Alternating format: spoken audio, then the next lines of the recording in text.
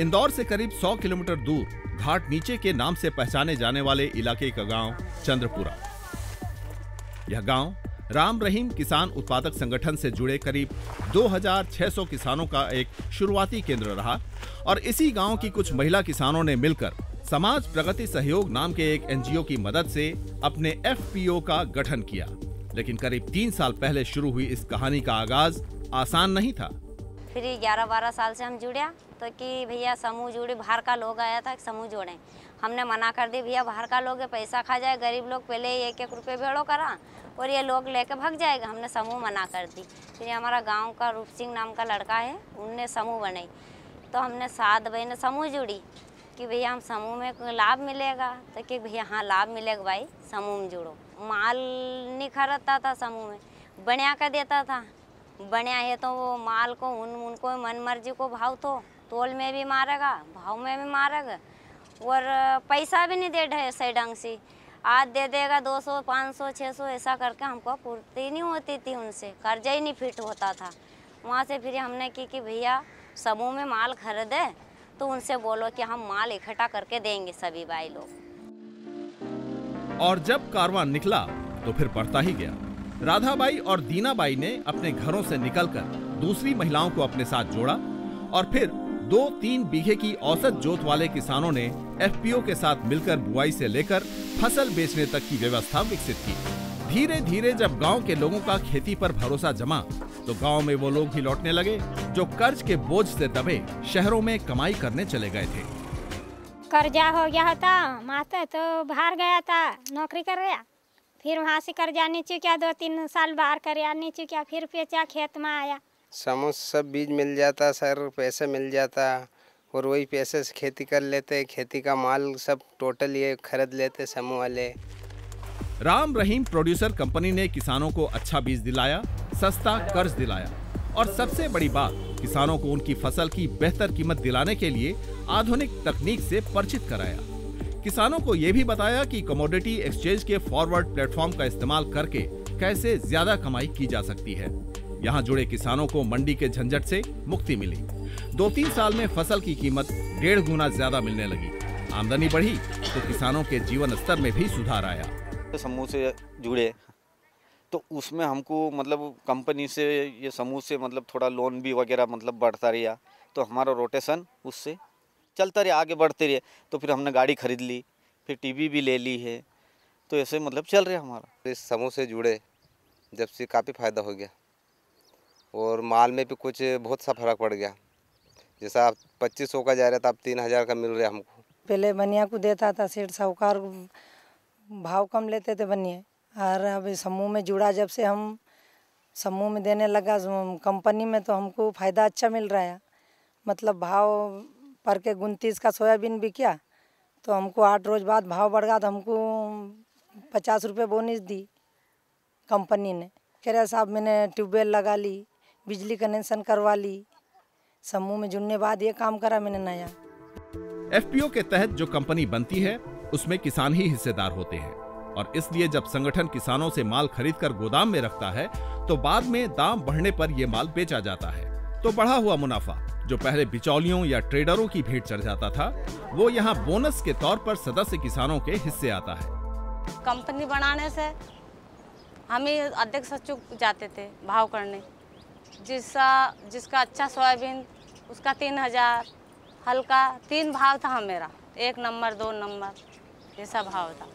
तो वो जैसा सोयाबीन, वैसा ही भाव करते थे। दो हज़ार, ढाई हज़ार, तीन हज़ार तो वो मंडी का, पहले हम मंडी का भाव नहीं ले पाते थे। अरे कंपनी बढ़ने से हम भाव, मंडी का भाव हमको घर ही मिल जाता है। सरकारी नियमों के तहत हर एफपीओ किसी एक गैर सरकारी संगठन से संबद्ध होता है ताकि उसे तकनीकी मदद मिलती रहे। समाज प्रगति सहयोग की ओर से राम रहीम प्रोड्यूसर कंपनी में अकाउंटिंग और बिज़नेस विभाग का कामकाज देखने वाले राघव ने बिज़नेस मैनेजमेंट का कोर्स करने के बाद मुंबई की एक बहुराष्ट्रीय कंपनी में काम किया और फिर एनजीओ से जुड़े। खेती संबंधित जो वैल्यू है, वो खासकर किसान नहीं कंट्रोल करता है, जो पर रिस्क जो ले रहा है वो किसान है पर वैल्यू जो मिल रहा है वो कहीं और है। तो हम बेसिकली ये वैल्यू और रिस्क इम्बैलेंस को ठीक कराने के लिए हमने एक, एक ये कंपनी का एक, एक मकसद है। किसान भी अभी मंडी जा पा रहा है कंपनी भी किसान से लेके मंडी तक ही जा पा रहा है। तो कंपनी का मतलब मकसद बहुत अच्छा था पर कंपनी एक इंटरमीडियरी बन गया किसान और मंडी के बीच। तो जब अक्टूबर 2014 में अग्रिम सौदा के बारे में हमने मतलब पता किया। इससे पहले ही हमने एफएमसी से और एसफैक के थ्रू हमने एफपीसी को भी एनसीडीएक्स में जुड़ाव करने के लिए हम ऑलमोस्ट एक साल से बात कर रहे थे। तो जब अग्रिम सौदा के बारे में बात किया तो शायद हम पहली कंपनी होगा जो मतलब N C D X forwards में आ, हम मतलब रजिस्टर हुए पूरा हमने क्या किया कि गाँव लेवल पे ही क्वालिटी और ग्रेडिंग को कंट्रोल करके हम गाँव से सीधा मतलब मंडी नहीं, पर फॉरवर्ड्स मार्केट के थ्रू जहाँ पर भी हम इसको दे मतलब डिलीवरी होना है, वहाँ पर हम दे पा रहे हैं। और इस, इससे ऑलमोस्ट पर यूनिट पे प्राइस भी ज़्यादा मिल रहा है और जो कॉस्ट भी इंक्लूडिंग कमीशन कॉस्ट वो भी कम हो रहा है। तो ये बहुत ही मतलब एक पोटेंशियल इसका बहुत ही ज़्यादा है, क्योंकि क्या हमने एपीएमसी को गाँव में लेके आ गया। तो एक किसान और बायर के दोनों के बीच एक ऑनलाइन प्लेटफॉर्म, इलेक्ट्रॉनिक प्लेटफॉर्म हम डाल दें, जिसमें प्राइस डिस्कवरी बहुत अच्छी तरीके से हो रहा है। और राम रहीम ने फ्यूचर्स भी में भी एक पार्टिसिपेंट है, जिसके थ्रू हम हेजिंग कर पा कर पा रहे हैं। किसानों को उपज की बेहतर कीमत दिलाने के लिए एफपीओ मुख्य तौर पर दो रणनीति अपनाता है। पहली, खर्च में कमी करना, और दूसरी, किसानों की फ़सल पर अधिकतम भाव हासिल करना। इसके लिए कंपनी कटाई से पहले हर सदस्य किसान के घर जाकर सर्वे करती है, ताकि संसाधनों का बेहतरीन इस्तेमाल किया जा सके। ये सर्वे हम इसलिए करते हैं कि इससे हमको एक मोटा मोटा अंदाज लग जाता है कि बारदानों की आवश्यकता कितनी होगी। कांटे या सुहा सुतली की या स्टेशनरी कितने की ज़रूरत पड़ेगी अपने को। इसलिए हम पहले से ही अंदाज लगाते हैं, हम मालों की कितनी व्यवस्था लगेगी बेयर हाउस में रखने के लिए मतलब बेयर हाउस से बेयर हाउस में भी हमको बात करना पड़ेगी कि हमारा इस साल इतना माल हम बेयर हाउस में रखेंगे। तो इसके लिए भी ये मतलब संग्रहण से पहले हम तैयारी करते हैं, ताकि ये कम से कम खर्चा हो मतलब अधिक जैसे ज़्यादा बारदान खरीद लेंगे तो वेस्टेज खर्चा हो जाएगा।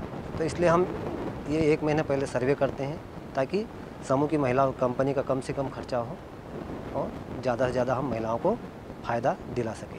कृषि कार्यक्रम में एनपीएम के ऊपर काम करें। एनपीएम का मतलब ये है कि बिना रासायनिक दवा के खेती करना। राम रहीम कंपनी का माल तुल जाता है खरीदी केंद्र में उसके बाद में वहाँ दो वेरायटी मिलती है अपने को। एक तो अच्छी वाली वेरायटी और एक कचरा और मिट्टी जिसमें होता है। तो अच्छी वाली जो सोयाबीन होती है, उसको हम सीधा वेयर हाउस में रख देते हैं और जो कचरा मिट्टी वाली सोयाबीन है, उसको हम यहाँ निमखेड़ा केंद्र पे इकट्ठा करते हैं। यहाँ इकट्ठा करने के बाद में उसका ग्रेडिंग किया जाता है मशीन से। मजदूरों द्वारा ग्रेडिंग करते हैं, उससे कि वो साफ़ हो जाता है। वो साफ़ माल हो जाता है, वो साफ़ इसलिए हम करते हैं कि ताकि किसानों को अच्छा भाव मिल पाए। तो वो जैसे तीन हज़ार की सोयाबीन है उसको अगर ग्रेडिंग अपन करते हैं तो तीन हज़ार चार सौ रुपये तक वो सोयाबीन बिक जाएगी। एफपीओ किसानों के हाथ में खेती के हर चरण के लिए तकनीक जानकारी और संसाधनों की वह सुविधा मुहैया कराते हैं जो अमूमन किसी एक छोटे किसान के लिए जुटा पाना लगभग असंभव होता है। ऐसे में मध्य प्रदेश के बागली और नीमखेड़ा इलाकों के करीब 200 गाँवों में फैले 2,600 किसानों का यह समूह जो उपलब्धियाँ हासिल कर रहा है वो देश के किसी दूसरे हिस्से के किसानों के लिए भी एक नजीर बन सकता है। किसानों के लिए अच्छी फ़सल पैदा करना एक चुनौती है, लेकिन उससे भी कहीं ज़्यादा बड़ी चुनौती है उस फ़सल के लिए एक अच्छा बाज़ार हासिल करना, उस फ़सल के लिए अच्छा भाव हासिल करना। ऐसे में एफपीसी यानी बहुत सारे किसानों का एक साथ आकर एक कंपनी बनाना और कंपनी के तौर पर अपनी फ़सल का मोल भाव करना एक नया कंसेप्ट है, जिससे उम्मीद की एक किरण जगी है और इस कहानी में हम आपको ये बता चुके हैं कि किस तरह इस फॉर्मूले से मुनाफे की नई उम्मीद जग सकती है, मुनाफे का नया फॉर्मूला खड़ा हो सकता है। मंडी डॉट कॉम के लिए मध्य प्रदेश में बागली से भुवन भास्कर।